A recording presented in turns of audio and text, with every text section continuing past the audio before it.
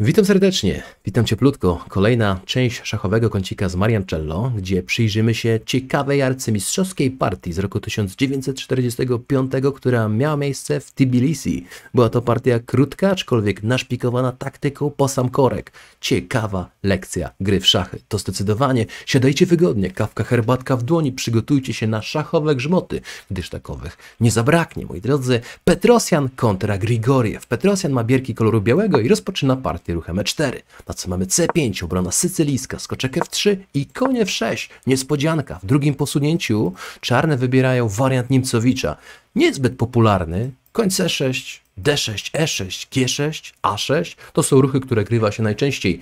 To zdecydowanie rzadziej, chociaż jest to ruch książkowy, jest to teoria, to podchodzi pod szermierskie pchnięcie, koń D5, jeśli C4, koń B6. Przypomina mi to obrona Aleksandra troszeczkę, yy, Alesina, ale Jechina. Natomiast tutaj po prostu koń C3. Strzał, strzał, żeby uwolnić potencjał Czarnopolaka. Jest ten pionek w obozie czarnych, ale czy on tak naprawdę psuje krwi im tam? Nie, tu należało się po prostu rozwijać koń C6.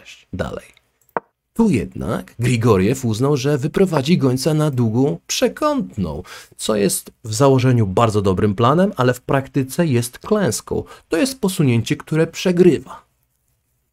No, ale przegrywa tylko wtedy, kiedy widzicie follow-up białymi, aby to ukarać. I to są właśnie szachy. Co z tego, że ktoś zrobi błąd, no nie wiem, podstawisz mu hetmana, a on nie weźmie, bo nie widzi, wiesz co jest. I teraz kawka, herbatka w dłoń. Pytanie jest do Was. Pytanie jest do Was. Jak ukarać tę pozycję? No, otworzyła się wieża po diagonali. No i z tego tytułu już jakieś motywy mogą się pojawiać. Ale najpierw trzeba jeszcze troszeczkę osłabić pozycję króla.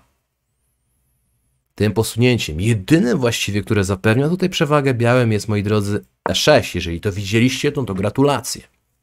Chodzi o to, że jeśli bicie z F, no bo Groźba jest prosta. Bum, bum, check, pobieramy wieżę. Więc coś trzeba z tym fantem zrobić. Jeżeli bicie z F, które byłoby nieco gorsze niż redakcja, która została zagrana w partii, no to koń E5. No właśnie, i grozi mat. Bum, bum, bum, bum, checkmate. No to co? G6 ktoś mówi. No tak, tylko że wtedy mam podwójną groźbę. I grozi matador, i wisi wieża. Ajajajajaj, no właśnie. No właśnie problemy. Dlatego też bicie z F no, wygląda też dziwnie. No, poszło odbicie z D prostolinijnie. Tak, tylko tu wymiana hetmanów i konie 5 anyway. Są cały czas wykrzykniki niebieskie. To znaczy, że to jest ta właśnie kontynuacja, to są te jedyne ruchy, które zapewniają tę przewagę potężną. No grozi wideo, więc króle 8 poszło w partii, goniec B5 check, jedyna kontynuacja. Goniec D7 i co tutaj? Chodzi o to, moi drodzy, że wieża będzie prześladowana przez gońce. Otworzenie wieży było po prostu bardzo nierozsądne. Skoczek wybija D7, skoczek bije D7, goniec F4. I po prostu zaraz goniec C6 i ta wieża. Nie ma gdzie się schować przed oprawcami. Dla przykładu, jeśli A6, goniec C6. Jeśli wieża tu, no to goniec tu. Jeśli wieża tu, to najpierw długa rola, a później goniec C7. O, tej wersji językowej. Wieża jest upolowana. Chodzi o jakość. Na poziomie arcymistrzowskim no wierzę w to, że to jest już przewaga dostateczna. Dostateczna. Tutaj w partii poszło jednak, przepraszam, e, nie poszło A6, tylko poszło E5. No, w ten sposób. Tutaj tak naprawdę nic sobie nie zrobiły z tego białe. Petrosjan mówi, ja ruszuję, ja mam tutaj, o, klarowny punkt zaczepienia. Jeśli wzięcie tutaj, to chcę wierzyć, że taki ruch wygrywa. Ze względu na to, że później mamy odsłonę, chociażby łapiąc wieżę. Wiecie co jest. W partii poszło, moi drodzy, F6, żeby król miał furtałki, no ale to nic nie zmienia. Benz, D7, partia została poddana. Dosyć ma niespodzianek na dzisiaj Grigoriew. Trzynaste posunięcie kończy partię na tym poziomie. Jeżeli kiedykolwiek Wam się zdarzyło dostać w trąbę w debiucie, to nie martwcie się. Jak widzicie, nie tylko Wy dostajecie w trąbę w debiucie. Partia mogła być kontynuowana. Silnik stanowczo e, chciał grać dalej, z tego co wiem, chociaż tu jest plus, plus 4. E, tu jest tylko plus 2 w materiale, natomiast e, chodzi o to, że pozycja jest mega trudna. Mega trudna. No to jest figura więcej, tak? To jest po prostu Białopolak więcej, y, lepsza koordynacja figur, połączone wieże, dziękuję, tak? To jest linia silnika, którą poleca, tak? Chodzimy gońcem i jeszcze pobieramy sobie pioneczka, chodzimy kolejną wieżą e, i te wieże nawet jakbyśmy wymienili, no to i tak zbliża to finalnie czarnego do końcówki, gdzie będzie grał bez figury. Coś niesamowitego, słuchajcie, coś niesamowitego.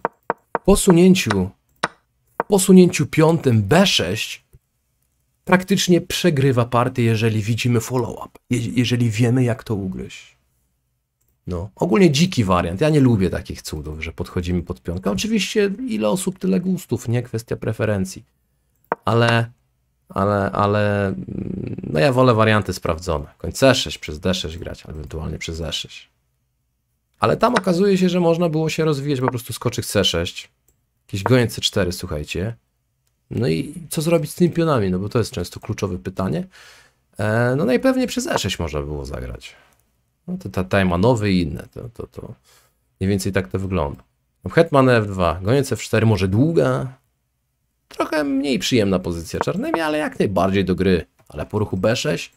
No, no, no. Zdecydowanie.